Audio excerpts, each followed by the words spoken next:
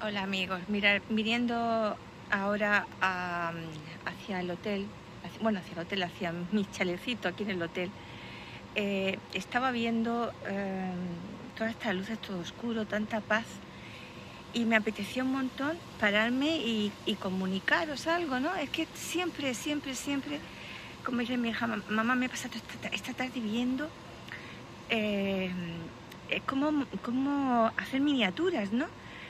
Esas ganas de, mm, de, de saber cosas, ¿no? De, de, aprobar, de aprovechar el tiempo libre y tal.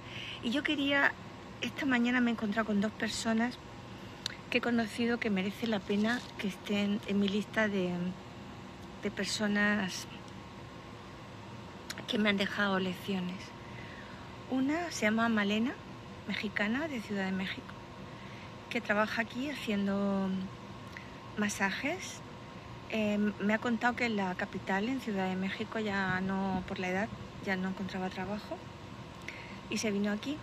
Y está muy contenta porque su oficina es el mar, la playa, el cielo, las palmeras y que eso es un gozo para ella. Me ha dado muy buenos consejos porque creo que no os lo he contado, pero una semana antes, bueno, 15 días antes de, eh, de venir, aparte de traerme un catarro bueno de, de Palma de Mallorca, pues me dio un, un lumbago. Y como yo no puedo tomar nada para el dolor, perdonad si me repito, porque algunos ni siquiera lo habréis visto, pero bueno, pues ahí he tenido que ir con mi, mi dolor. Yo decía, Dios mío, digo, después de tanto tiempo estar con este viaje, eh, ¿en qué condiciones me voy a ir? Y sí, vine fastidiada eh, del lumbago, eh, muchísimas horas de avión y de tren. Encima un señor se indispuso justo cuando tomaba ya pista el avión y bueno, parecía que se moría y le tuvieron que acudir médicos que habían dentro ya de la cabina del dentro ya del, de, de la cabina, ¿no? Dentro de ya de lo que es el avión preguntaron por médicos y aparecieron tres o cuatro. Éramos 431 pasajeros, entre tanto tenían que haber algún médico. Bueno, le dieron Coca-Cola y tal y el señor se puso bien.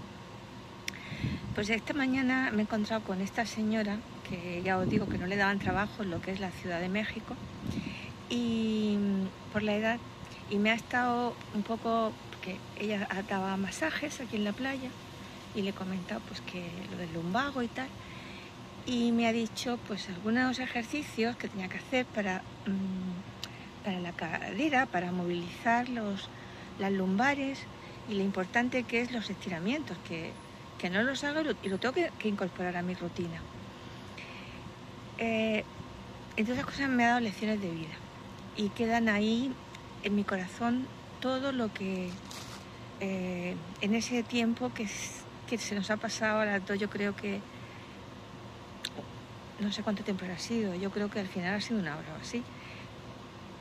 Yo he ido a estirar un poco las piernas y ella que pasaba, bueno, nos hemos encontrado y, y ha sido un encuentro, como dice, personas que solamente las, las pasan por tu vida por un instante, otras por un momento, otras por un día, otras por una semana, otras por un mes, otras por un año, otras por una década y otras se quedan para siempre, ¿no? Esta, esta señora seguro que ha pasado por un segundo, por una hora por mi vida, pero ha pasado y ha dejado huella. Si me estás viendo, Malena, te saludo con un fuerte abrazo porque ya he practicado los ejercicios hoy. Y la otra persona que me ha tocado el corazón es una chica eh, español, bueno, española, nacionalizada española, eh, vino de Estonia ya lleva 20 años en España, con una historia detrás también muy, muy dura. Y aquí estaba intentando olvidar y a la vez animando a un amigo eh, ya terminal. El amigo con mucho ánimo no es su pareja. Eh, es decir, que ahí se ve la calidad humana de esta persona. Eh, gasta su dinero en animar a esa, persona y acompañarla en este momento donde la gente se va, eh, porque normalmente la gente cuando oye que hay algún problema así se va.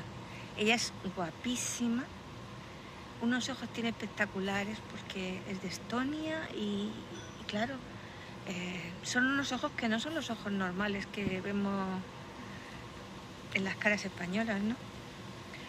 Y ahí estaba, ahí estaba, con sus risas, con su positividad, con todas las historias fuertes que me ha contado que había detrás de ella. Y bueno, se ha venido a desconectar y acompañar a un buen, buen amigo en estos momentos tan difíciles. Entonces quiero decir que eh, cuando nosotros vemos desde fuera, tanto el que se está divirtiendo como el que se está ah, ganando la vida, detrás hay historias. Y en todas hay historias dolorosas, historias de superación, historias que nos dan ganas de tirar la toalla, pero historias que merecen la pena ser vividas y ser compartidas. En este caso yo me he parado aquí volviendo hacia lo que yo digo mi casita, me he parado aquí en este rinconcillo y digo, mira, lo voy a contar antes de que se me olvide. Quizá no interese a nadie, es como dicen mis hijos, mami, si tú... Pero bueno, eh, yo mira, eh, ya dijo una vez que con que solo me sirva a mí, basta. Pero creo que hay más gente que, que le sirve. Y bueno, mmm, merece la pena, siempre merece la pena. Bueno, pues la llave de la habitación, me voy para allá arriba y me voy a preparar a cenar. Mirar, yo ya no puedo llevar más con mi vida, tanto cenar, tanto comer, de verdad. Esto ya es demasiado. Yo en mi casa no como tanto. Venga, eso.